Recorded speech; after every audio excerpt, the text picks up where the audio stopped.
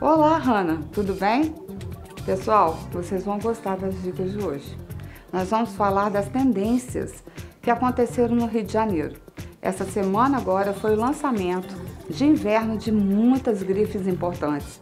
E vocês vão se surpreender com o que eu vou falar, até porque eu também fiquei extremamente pasma. Ou seja, a coleção de verão que vocês vão comprar agora nas liquidações, vocês prestem atenção, porque vocês podem conseguir comprar a mesma ideia, a mesma linha da coleção que vai chegar no inverno. Ou seja, nós vamos continuar com tecidos metalizados, dourados, prateados, paetês, brilhos, muitas pedrarias, isso na parte de tecidos.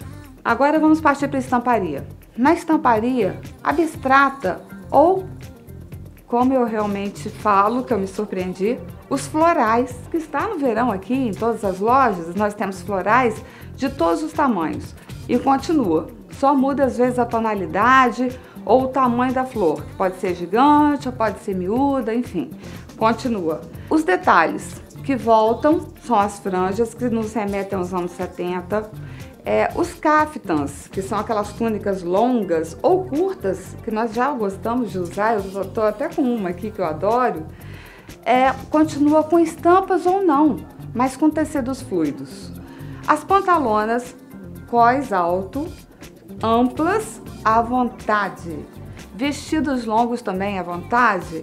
É, outra coisa que eu notei, que eu achei muito interessante, foi essa coisa do psicodélico voltar, que é a estampa que tem multicores.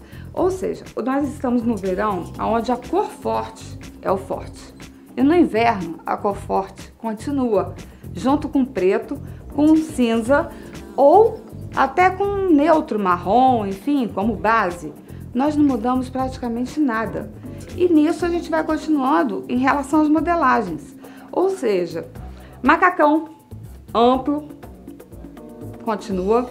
Os macacões, inclusive com cós baixo, esses, essas calças também jeans, que a gente usa com cós mais baixo, continua. É, nada demais a gente viu.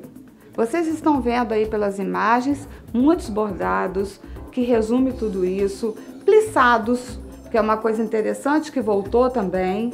É, mas são detalhes que praticamente só acrescentam as coleções primorosas do próximo inverno 2012. Então, eu espero que vocês aproveitem todas essas dicas e comprem muito bem nas liquidações, ok? Um beijo grande. Tchau, até a próxima.